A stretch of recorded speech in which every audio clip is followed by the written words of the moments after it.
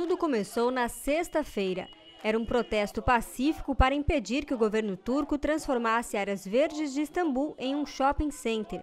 Mas a polícia foi para cima, muita gente ficou ferida e o protesto virou uma revolta contra o governo.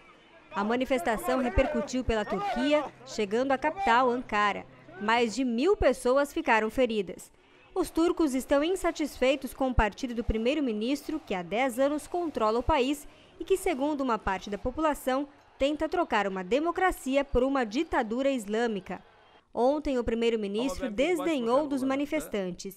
Disse que eles não passam de um bando de saqueadores manipulados pela oposição e prometeu manter a construção do shopping.